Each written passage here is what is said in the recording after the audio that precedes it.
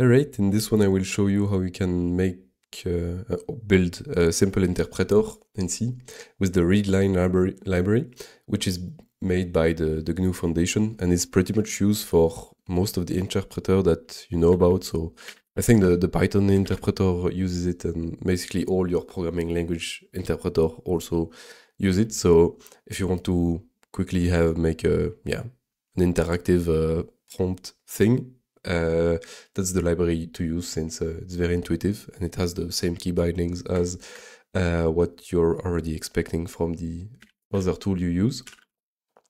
So the way to use it is you need to include a readline readline.h.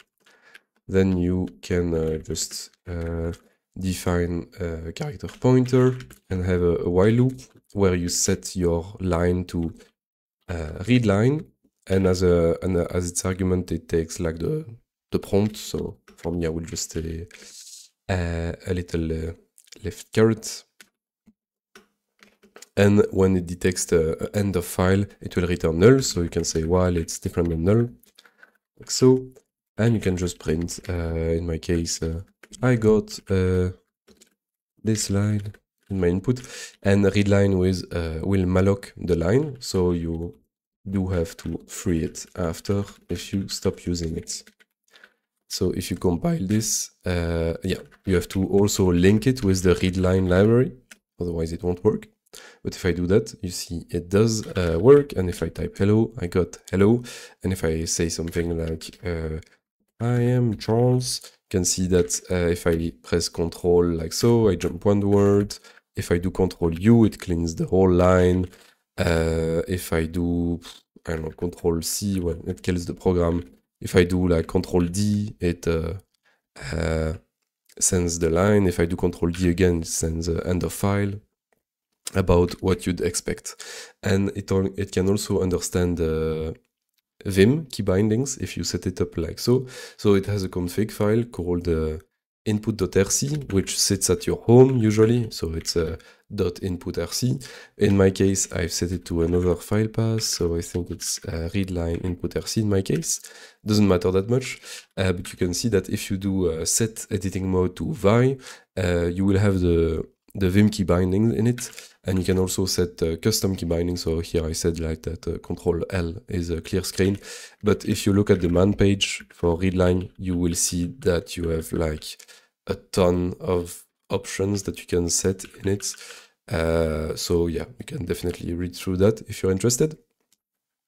But in my case, you can see that uh, if I do this and then I type a bunch of stuff, uh, and then I press escape, I'm suddenly in Vi mode where I can uh, use the Vim key binding as I wish. So yeah, that's uh, that's awesome. And like I, you, you see my code, I, I had uh, almost nothing to do, you know, and it was already all set up for me.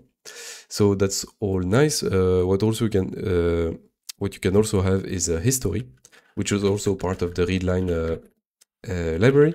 So you can include a readline history.h. Then you can say using history uh, at the top and clear history at the bottom as the initialization and uh, uh, clearing function. Then you can, every time you read a line, a line, you can, after you do whatever with it, you can say add history line, like so and it will just yeah create a history for you uh, it will do what about what you expect so hello I am like so. And if I uh, if I press the uh, the arrow up, it will uh, go in the history about as, you, as you'd expect. Uh, it also, of course, works uh, with uh, V mode and pressing J and K and stuff. It's very handy. And you can also do Control R to search in it. So if I, if I say Charles, it will search in the history back for my name. If I say uh, hello, it will also search for that. Uh, exactly the same as in Bash, basically. Uh, next, uh, there is also a ton of functions for the history, so you, you can like in the code manually, uh, you can get the list of all the entries. Uh, so let me cut the thing, man tree history.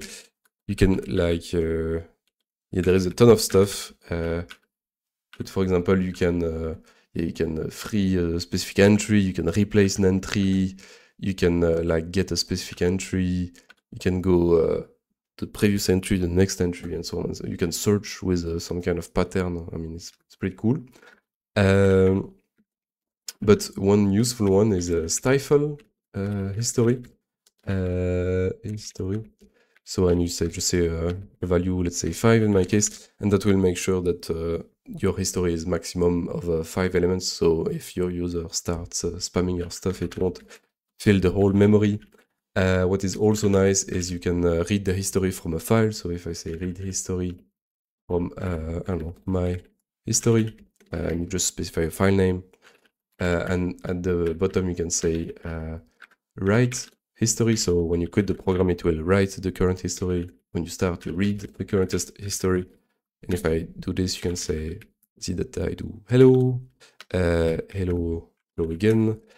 And if I quit and I restart it, you can see that if I search for hello, I have the previous history uh, already in my program, which is quite handy.